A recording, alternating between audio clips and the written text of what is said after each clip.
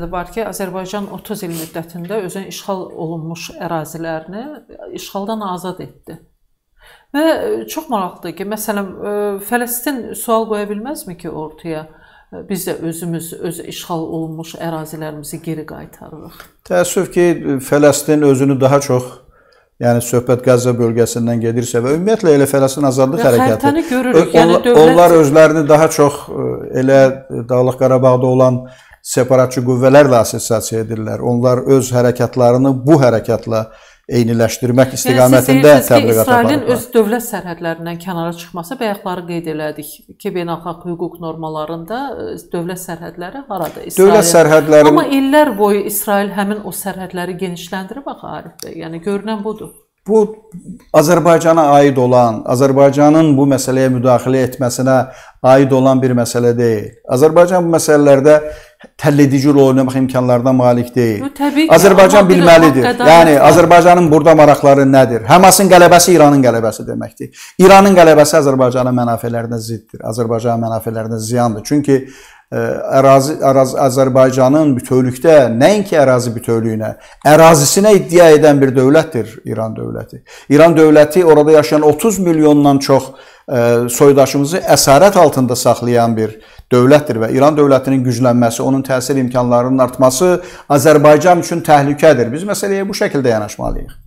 İsraillə Suriyanın arasında olan o problemlər, yəni Suriya ərazisinin bir hissəsi, bu Holland yüksəklikləri İsrailin nəzarəti altındadır. Əgər Suriya bununla barışıbla, barışıbsa və Suriya bununla əlaqədar hər hansı bir mübarizə aparmırsa, biz bu məsələlərə görə nəyə görə İsraillə münasibətləri korlamalıyıq? Bu Suriyanın problemidir və Suriyada bu problemlə məşğul olmaq istəmirsə, məşğul olmursa, biz niyə bu məsələlərdə görə e, İsraillə münasibətlərimizi, ümumiyyətlə hər hansı diplomatik münasibətlərimizi biz kimlərinsə maraqlarına uyğun olaraq niyə müəyyənləşdirməliyik? Yəni e, ərazi məsələləri ilə bağlı elə e, Fələstin də İsrailin məsələn dövlət kimi tanımır, İsrail də Fələstini dövlət kimi tanımır. Əgər məsələn İsrailə müəyyən ərazini beynəlxalq birlik vermişdi və açığı deyim İsrail dövlətinin yaranmasında Məsələn, Böyük Britaniya maraqlı deyildi. Amma İsrail dövlətinin yaranmasına Amerika Birləşmiş Ştatları maraqlı idi. Amma Stalinin rəyi olmadan belə bir dövlət yarana bilməzdi. Yəni İsrail dövlətinin yaranmasında Stalinin və e, SSR-nin o vaxtki Sovet Rusiyasının böyük, mühüm, həlledici rolu olubdur. Yəni onların mövqeyi və onların səs verməsi nəticəsində o mümkün olub. Və o orada bu e, dövlət qurulan kimi Ərəb dövlətləri onu tanımamaq barədə qərar qəbul etdilər və onunla müharibəyə başladılar. Müharibədə də məğlub oldular. Bilirsinizmi? Əgər məsələn indi bir çoxları deyir ki, mən bu məsələyə xüsusi vurğulamaq istəyirəm. Bir çoxları deyir ki, əgər Rusiya razı olmasaydı və ya Rusiya e, dəstək verməsəydi, Azərbaycan Qarabağı işğaldan azad edə bilməzdi. Belə bir fikir səsləndirilir. Amma mən açıq şəkildə deyirəm ki, Rusiyanın 2-ci Qarabağ müharibəsində mövqeyi nədən ibarətdir? Rusiya yenə də Ermənistana silah verirdi.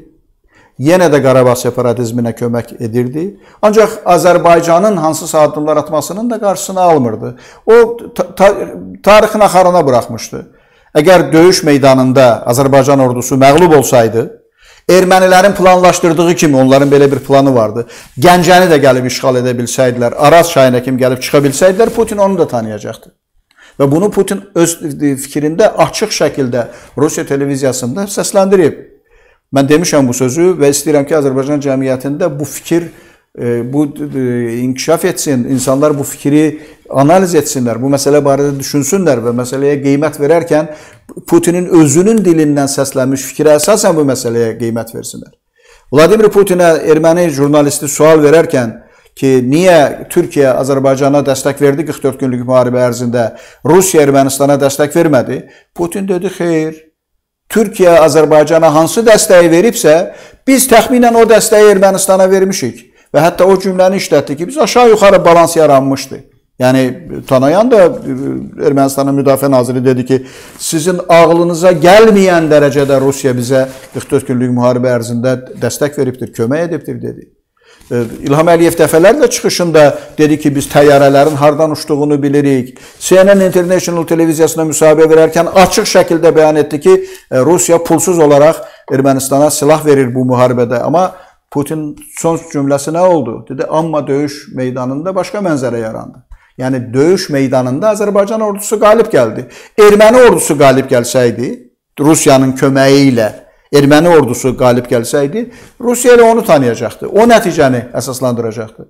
O e, bizim əsirlikdə olan iki nəfərimiz Dilgən və Şahbaz onlardan hansısa səhv eləmirəmsə Dilgən belə bir e, intervyu verdi. Mən onun intervyusuna qulaq asdım. Dedi ki, 44 günlük müharibənin başlanmasına bir müddət qalmış, bir həftə falan, bir neçə gün qalmış. Şuşa həbsxanasının rəisi mənim yanıma gəldi. Mənə dedi ki, sən bu yaxınlarda Gəncə türməsinə köçəcəksən. Mən dedim ki, xeyr ola, necə mən Gəncə türməsinə köçəcəm? Dedi ki, bu yaxınlarda döyüş əməliyyatları başlayacaq. Biz Gəncəni tutacağıq. Köçəcəksən Gəncə türməsinə, Gəncə həbsxanasında olacaqsan. Yəni ermənilərin də planı bu idi. Yəni amma e, Azərbaycan ordusu bu planları pozdu. Azərbaycan xalqı bu planları pozdu. Azərbaycanın siyasi iradəsi bu planları pozdu. Eyni ilə e, hal-hazırda da Məsələn, Rusiyanın bu məsələlərlə bağlı tutduğu mövqe e, Rusiyanın maraqlarına uyğun olan bir proseslər baş verir. Yəni Hamasın atdığı addımlar ilk növbədə Qəzza əhalisinin maraqlarına uyğun deyil, nəticələr göz qabağındadır. Yəni bunu siyasi qüvvə bunu görməli idi, hərbi qüvvə bunu görməli idi, bilməli idi. İranın maraqlarını əks etdirir. Çünki İran maraqlı idi ki, Türkiyə ilə İsrail münasibətləri korlansın, ərəb ölkələri ilə İsrail münasibətləri korlansın. Buna nail olub xeyli dərəcədə və oradan çəkiləcək kəmərlər artıq xəyala çevrildi. Artıq İran öz ərazisindən o e, Çindən gələn bir bir yol, bir kəmər layihəsinin keçməsi və digər bu məsələlərlə əlaqədar təşəbbüsü xeyli dərəcədə öz əlinə keçirtmək imkanları əldə etdi. Rusiyanın maraqlarına uyğun oldu, çünki dünyanın diqqəti Ukrayna müharibəsindən xeyli dərəcədə yaxın şərq müharibəsinə yönəldi. Artıq e, məsələn Amerika Birləşmiş Ştatlarında vəsait ayırmaq üçün qərar qəbul etmək məqsədi ilə artıq Bayden məcburdur ki, bir layihədə iki e, təklif versin. Yəni maliyyə vəsaiti Ukrayna və İsrail müharibəsi üçün ayrılsın. Yəni iki yerə bölmək, iki yerə ayırmaq məcburiyyətindədir. Çünki yalnız Ukraynaya dəstək verməyə artıq konqresmenlər səs vermirlər. Yəni bu e, Rusiyanın maraqlarına uyğundur. Yəni onların maraqlarına uyğundursa, onlar da bu müharibəni başladıblar və e, Rusiyanın maraqlarına uyğun olan məsələlər, İranın maraqlarına uyğun olan məsələlər Azərbaycanın maraqlarına uyğun deyil. Biz bunu bilməliyik. Biz anlamalıyıq ki, məsələn, tutaq ki, məsələn, Fransanın tutduğu, Azərbaycana qarşı tutduğu mövqe çox qərəzli mövqedir. Amma Fransa uzaqdadır. Fransanın burada silahlı qüvvələri yoxdur. Rusiyanın Ermənistanda silahlı qüvvələri var. Gürcüstanda, Abxaziyada və e, Sıxınvali regionunda silahlı qüvvələri var. Azərbaycanda, Qarabağda silahlı qüvvələri var. E, Rusiyanın Azərbaycanla uzun bir sərhəddi var. Ona görə bizim üçün e, İran təhlükədir, bizim üçün Rusiya təhlükədir. Fransa bizim üçün Rusiya qədər təhlükəli ola bilməz. Çünki bir daha deyirəm ki, Fransa uzaqdadır, bunlar yaxındadılar. Bunlar bizim qonşuluğumuzdadılar. Hətta məsələn bu həqiqəti Ermənistan baş naziri Nikol Paşinyan başa düşür. Nikol Paşinyan deyir ki, biz öz strateji e, siyasətimizi müəyyənləşdirərkən Rusiyaya istinad etməkdə səhvə yol vermişik. Biz deyir, ən yaxın qonşularımızla, Azərbaycanla və Türkiyə ilə münasibətləri yaxşılaşdırmalıyıq. Çünki yaxında olan, qonşuda olan dövlətlərlə münasibətləri pis saxlayıb, başqa bir materikdə olan dövlətlərlə münasibətlərin yaxşı olması Onlar tamamilə həlledici olaraq bir-birindən fərqli olan məsələlərdir. Yəni region dövlətləri ilə münasibətlərin yaxşı olması, qurulması, e, inkişaf etməsi müsbət haldır və eyni zamanda region dövlətləri dövlətimiz üçün təhlükədir. Region dövləti də İrandır. Azərbaycan üçün ən təhlükəli olan region dövləti İrandır və Rusiyadır. Və daim məsələn Azərbaycanı parçalayan da bu dövlətlərdir. Azərbaycanın şimal hissəsini 200 ilə yaxın bir müddətdə e, öz müstəmləkəsi kimi işğalı altında saxlayan Rusiyadır. O biri ərazisini uzun əsrlər boyu öz əsarəti altında saxlayan İrandır. Yəni biz bu məsələləri nəzərə alaraq öz siyasətimizi müəyyənləşdirməliyik, öz siyasətimizi yürütməliyik. Mən dedim ki, əgər e, Fələ İran Fələstini müdafiə edirsə, aydın məsələdir ki, e, Amerika Birləşmiş Ştatları Fələstini müdafiə etməyəcək.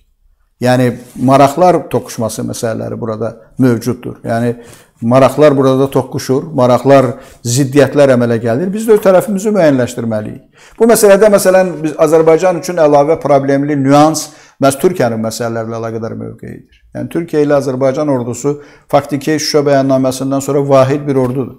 Və indi məsələn Türkiyədə hətta Türkiyə ordusunun bu e, hərbi eskalasiyaya müdaxilə etməsi ilə əlaqədar fikirlər səslənir, şüarlar səslənir. Təbii ki, bu olmayacaq. Mən əminəm ki, Türkiyə ordusu ora yer, yeridilməyəcəkdir. Amma hər halda, yəni belə bir məqamda Azərbaycan üçün əlavə nüanslar, əlavə problemlər yaradır. Amma biz çox vektorlu siyasətimizi davam etdirməliyik və çalışmalıyıq ki, bu qarşıdurmadan Azərbaycan ziyan görmədən çıxsın. Yəni bu qarşıdurmadan xeyir götürmək ehtimalları çox azdır yeganə ola bilsin ki, Azərbaycan üçün əhəmiyyəti ondan ibarət oldu ki, dünyanın diqqəti xeyli dərəcədə e, bu etnik təmiz erməni separatçı qüvvələrinin və diasporasının etnik təmizləmə isterikasından, propagandasından xeyli dərəcədə yayındı və Qəzza məsələsi ön plana keçdi.